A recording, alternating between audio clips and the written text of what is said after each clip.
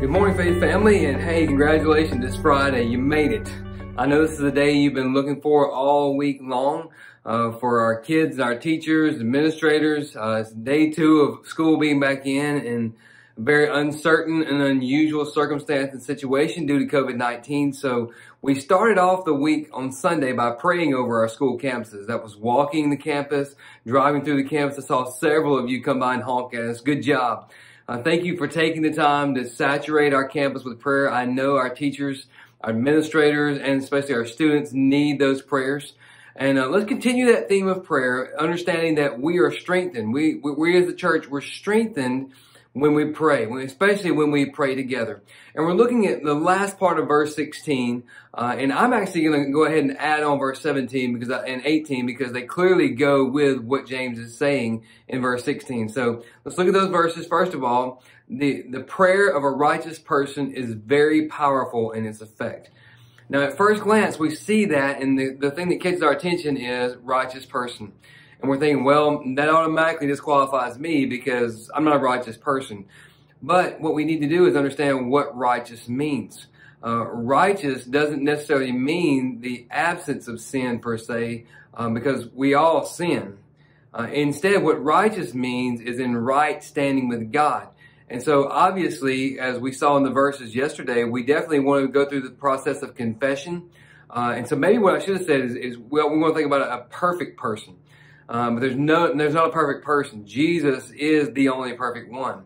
And so after we've come through the process of confession and we have sensed the Father's forgiveness and we've experienced his cleansing, then guess what? We're in that position of righteousness. Not because we earned it or deserved it, but because we asked of God and God granted that request by his grace. And so don't get distracted by that statement, the prayer of a righteous person, and think that's referring to some elite level of sainthood or, or a minister or a priest, anything like that. No, no, it's talking about any born again believer who's now in right standing with God. Nothing is inhibiting their fellowship with God. That's important because the next statement is that person in right standing with God, their prayer has a powerful effect.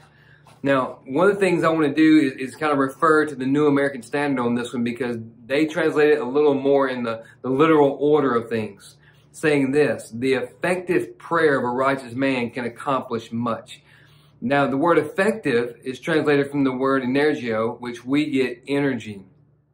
And so the CSB captures the idea, the NASB, the New American, explicitly spells it out in terms of what's being conveyed there. So the prayer of a righteous person has a lot of energy, has a capacity to accomplish much. We know that energy typically is, is always going to be involved in, in you know, the activity or the accomplishing of something.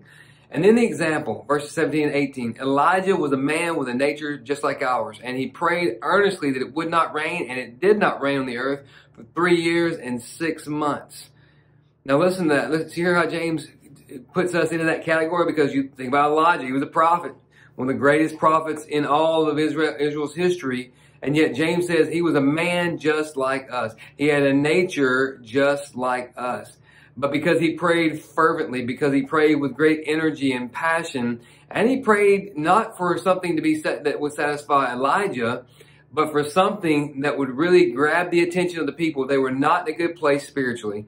They had a king, King Ahab, who was continuing to lead them because of the influence of his wife down a path that was contrary to the will of God and the word of God in the worship of Baal. And so Elijah, recognizing that, knowing that the people needed something to get their attention, prayed fervently, prayed earnestly, the CSB says, that it would not rain. And for three years and six months, it didn't rain.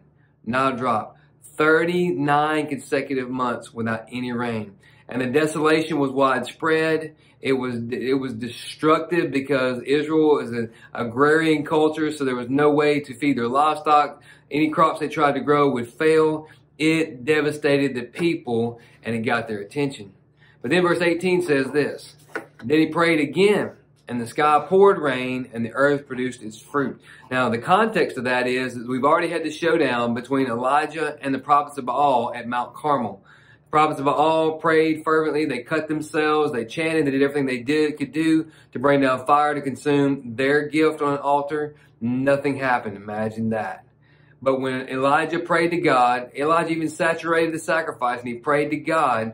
God consumed everything. There was even, the text even says there was a tongue of fire that licked up every drop of moisture, indicating that Yahweh is God alone.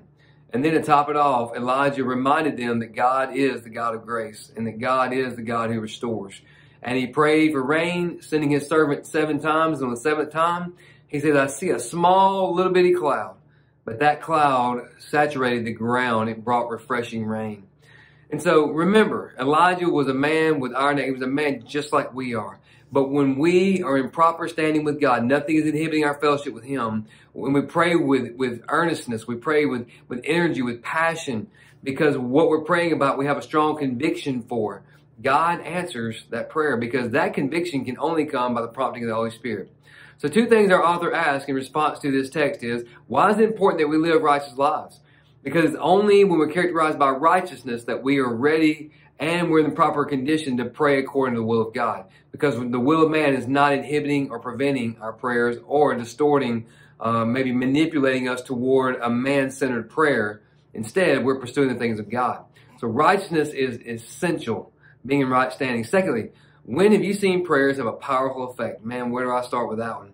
I've seen it over and over again. I've seen some powerful things happen through the prayer of God's people. So let's not underestimate what God will do through the prayer of his people. And this Sunday, we're going to be looking at Acts chapter 4, where Peter and John go back and report the persecution, and the people pray, and the power of God is demonstrated in response to their prayer. Let's not dismiss that, church. We desperately need that. We don't need structured prayer meetings we need the people of God passionately praying. So start now, and then Sunday we're going to look at the text in, in Acts chapter 4 and just see how God responds to the passionate prayer of his people. So make today that day where you honor him, and as you do that, you're going to do it by living sin.